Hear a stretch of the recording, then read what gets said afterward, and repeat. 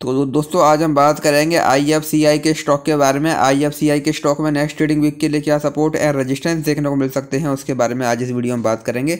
हम अगर यहाँ पे स्टॉक की बात करें तो हम देखेंगे जो ये स्टॉक है, ये हमको पिछले एक लंबे समय से यहाँ पर लगातार क्लियर अप ट्रेंड में देखने को मिल रहा है। हमको स्टॉक में लगातार हायर हाई हायर लो वाला पैटर्न यहाँ पर देखने को मिल रहा है। अभी रिसेंटली हमको यहाँ पे स्टॉक में गिरावट भी देखने को मिली थी, लेकिन गिरावट के बाद भी यहाँ पर स्टॉक ने अपने प्रीवियस लो को ब्रेक नहीं किया। और अगेन हमको यहाँ पर स्टॉक में लगातार तेज़ी ही देखने को मिल रही है।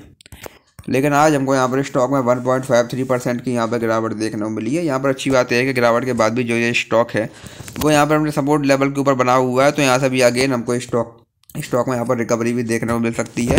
तो यहाँ से अगर अभी स्टॉक में रिकवरी आती है तो यह सब रिकवरी कंडीशन में हमारे पास यहाँ पर स्टॉक में थर्टी पॉइंट टू फाइव का पहला यहाँ पर रजिस्टेंस देखने को मिलेगा। अगर स्टॉक इसको यहाँ ब्रेक करेगा देन यहाँ से हमको स्टॉक में अगेन एक बड़ी तेज़ी, एक बड़ी बैंक यहाँ पर देखने को मिल सकती है। इसके बाद हमको यहाँ पर स्टॉक में thirty two point seven five, इसके बाद हमको यहाँ पर स्टॉक में थर्टी फाइव, और अगर स्टॉक ने इसको भी यहाँ ब्रेक किया देन यहाँ से हमको स्टॉक में अगेन थर्टी सेवन, इसके बाद हमको यहाँ पर स्टॉक में फोर्टी।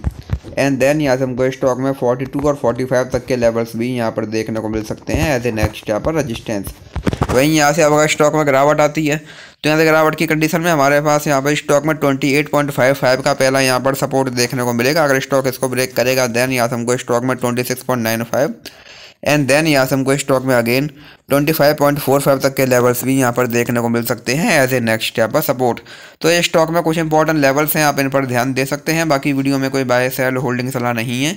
वीडियो केवल एजुकेशनल पर्पज़ के लिए है। धन्यवाद।